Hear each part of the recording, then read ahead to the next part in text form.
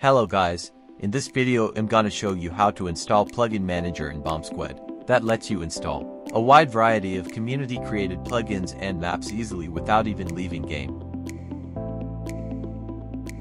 Alright, let's get into the video. For this you need Plugin Manager plugin which is linked in the description. Click the link and download the plugin. Now open your file manager and copy the plugin. Paste it into the mods folder as shown.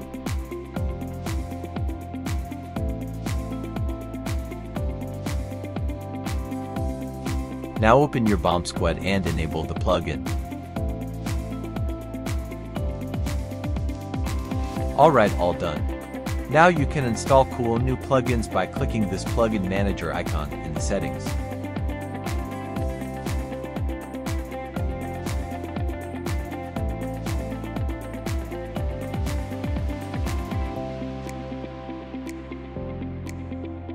Alright that's all for today.